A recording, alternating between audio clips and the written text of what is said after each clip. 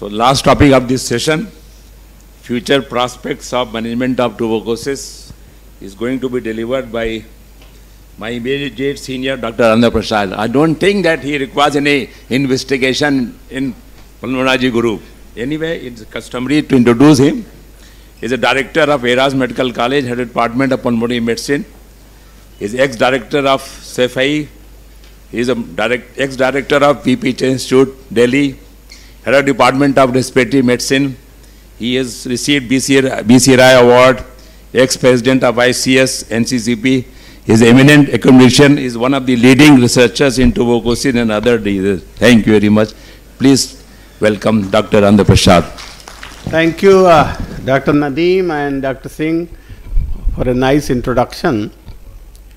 And at the outset, uh, I wish to thank the organizer. I am also one of them uh, for giving me this opportunity to share uh, some of my thoughts about what is going to be TB treatment in future. And uh, before I should start, since I am speaking in Lucknow, wherever I speak, I pay tribute to this great person who has been my mentor, Professor B.K. Khanna. And uh, knowledge-wise, I have traveled whole of the world. I still have to get a person who was more knowledgeable than him in TB. A simple example, many of you might have been graduated and post-graduated from KGMC. What Nadeem is one of them. What he taught us in the final year, taught me in way back in 1973 when I was in the final year. He used to taught us, doctor Sarin साहब, आपका तवज्जो चाहते हैं। हमारे जिसका photo लगाया है, वो हम लोगों को थर्ड ईयर में के में पढ़ाया करते थे how to manage drug resistant TB जब ड्रग रेजिस्टेंट टीबी का कोई एमडीआर का नाम नहीं था, कुछ नहीं था। और मेरे से अक्सर वो पूछा करते थे, यार, क्या नया आया राजेंद्र प्रसाद? तो मैं कहता था, सर, कुछ भी नया नहीं आया, जो आपके जो बेसिक कंसेप्ट थे that still remain the same only few drugs and few new names have come so i just pay tribute to him he's no more and uh, so of course these are my institute which already they have said currently i am working in era you know when i talk about tuberculosis i always say it's a curable disease. To me, it is 100% curable disease. May it be a sensitive TB, you see this X-ray, cured. May it be even drug-resistant TB. If you, if you give, give a good regimen, it is. But you know, the treatment is very prolonged. Treatment might have some adverse drug reactions. Those are the issues. But it is quite curable disease. But it is very unfortunate that Last year in India, around 5 lakh people died with tuberculosis, and the reason is only I just said before uh, when Salend has spoken that not all the patients of tuberculosis in our fold and they are not getting the proper treatment. If, if everyone should get this scenario will definitely going to change. And you know but uh, you know that there are there so when you treat tuberculosis you have got now drugs you have just heard drug sensitive tb you will be hearing about drug resistant tb there's a lot of many types of drug resistance you know mono poly mdr pre xdr xdr somebody will define when we'll talk about the drug resistance you know there are drugs have been from the sanatorium era. Now drugs have been there for new cases, for retreatment cases. This is a new classification of drug group three drugs where large number of uh, newer drugs like bedaquiline, delamanid are repurposed drugs like uh, linezolid, clofazimine is being used in the program. So, uh,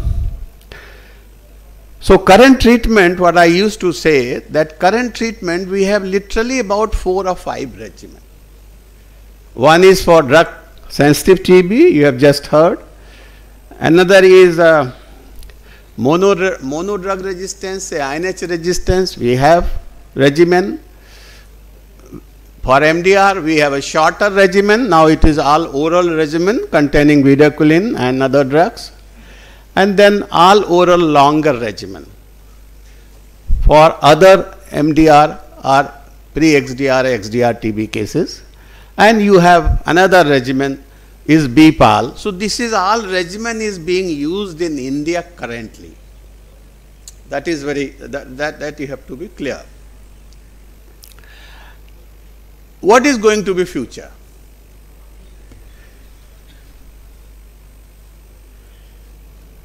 Future also, as you say that still, still you say there are drug sensitive TB and there are drug resistant TB.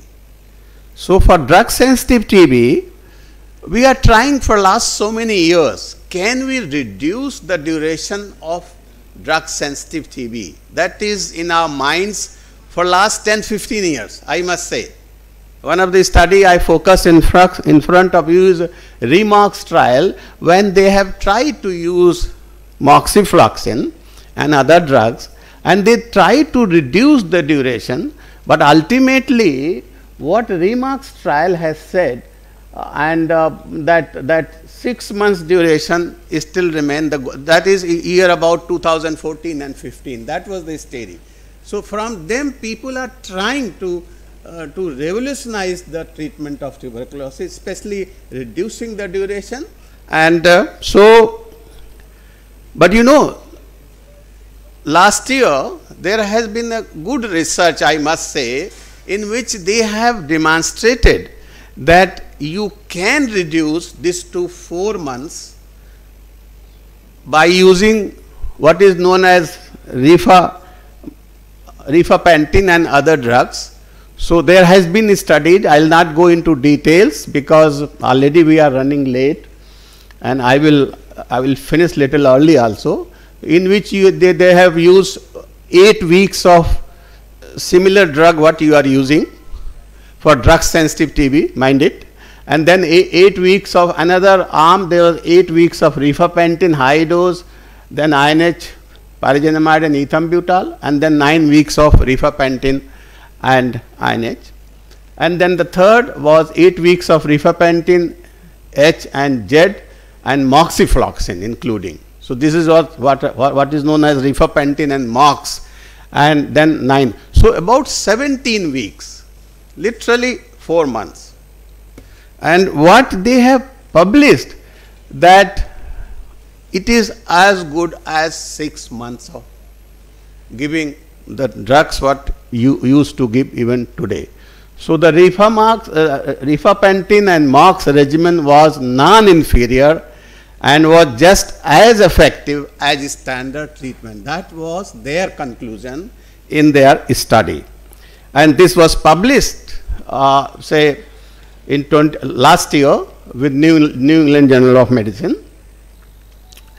And uh, even based on this study, WHO has uh, revised their guideline for drug sensitive tuberculosis, in which uh, in 20 just a few months back and in that guideline they are talking about this regimen also 4 months of rifampicin and moxifloxacin and then in children and adolescents they are also talking that in a certain situation you can use the same regimen what, what we are using for 6 months you can use for 4 months. So this is a new I mean WHO had just issued but I think I was, I was discussing with Dr. Sareen and Dr. Sachdeva, who is a, who is a part of, I mean, he's a part of union now. He's a leader in the union in Southeast Asia. And I, I, I respect Dr. Sareen as a national leader for TB control or TB elimination program. I was discussing with them, still government of India has not I mean, cleared this regimen. I think the time will come. I hope they will discuss about it and they will say that what is, uh, when it will be implemented. So this is not yet implemented. That what I am trying to. ये नहीं कल से आपने लिखना शुरू कर दिया है बहुत लोग पुराने स्टूडेंट मेरे दिख रहे हैं कि सर ने पढ़ा दिया अब लिखते हैं कल से so so that is that is that is the position then we come to the drug register this is about the drug sensitive tb What about then the drug resistant TB? You know there are many new drugs. There are many new drugs, you know, in the pipeline. Time will not permit me to get in every detail. But we, with those new drugs, there has been large number of studies going on. One of the study I just said is ZeNix study. It is all like BPAL study with the different dose schedule of the uh, of the linezolid.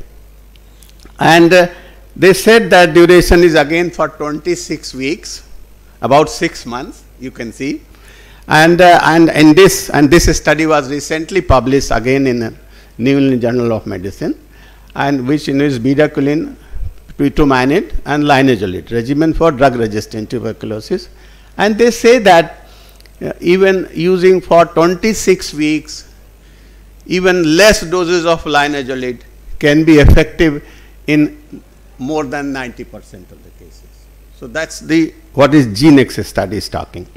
Then there are many more studies like TB PRACTECAL study in which uh, BPAL along with the another drug they are trying to add is the clofazimine and duration is 6 months. So, but one thing what you are saying, duration is what we have dreamt long back, duration is slowly and slowly is being reduced.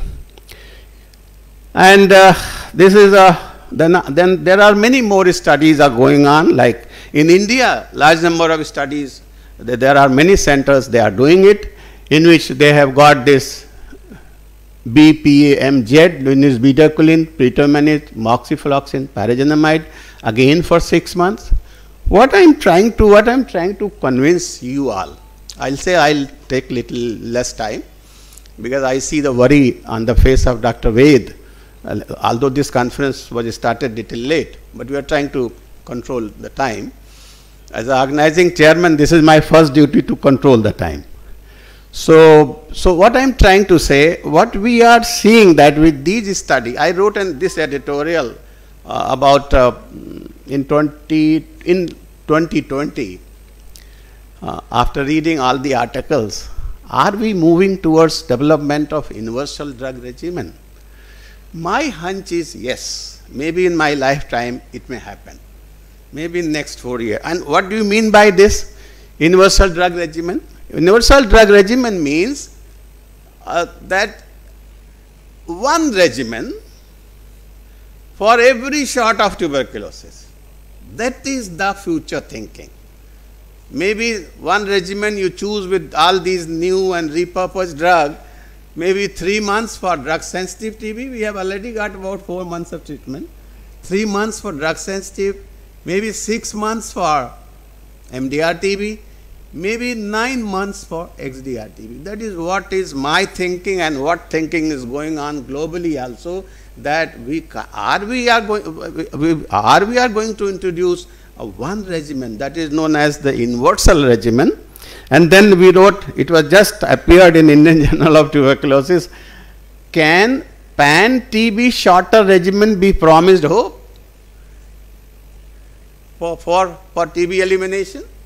Yes, I believe. If the regimens can be made simplified, can reduce the duration of treatment, yes, it is going to be hope that probably what our Prime Minister has dreamt that in India the TB should be eliminated. Rather it is end TB, TB should end by five years early by 2025. So probably such type of innovative researches, such type of future regimens, what people are thinking globally and in India also will help in eliminating the tuberculosis from this country. And so with these few words, what I said that treatment in future, you are going to have an universal regimen. I don't know when it is going to come, but uh, my hunch is, my feeling is, maybe next four or five years, you will see this, uh, this in this country, globally also.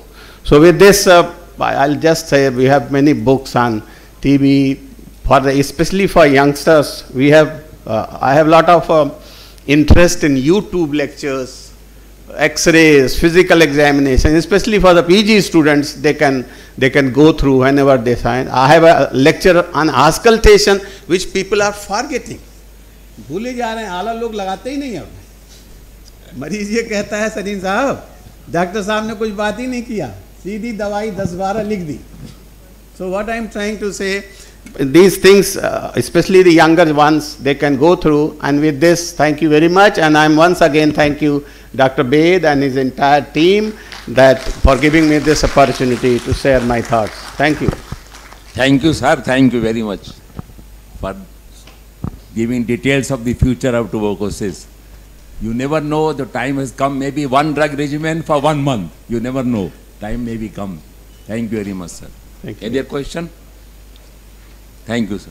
Thank you. So three lectures to start the scientific feast and we conclude session one and probably we'll move to the session two. Thank you so very much. Last but not the least, I'm thankful to the organizing committee for giving me this opportunity to chair this session. Thank you. Thank you all our chairpersons and speakers for conducting a very beautiful first session. Now I request uh, Rajendra Prasad sir and Ved Prakash sir to kindly felicitate our uh, esteemed chairpersons and speakers by giving them mementos. Over here. Uh, Dr. Arshad Nadeem sir, please.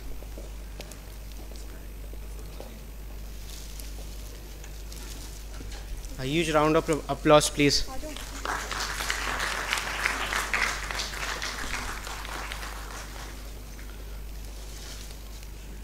Dr. Anil Kumar Singh sir.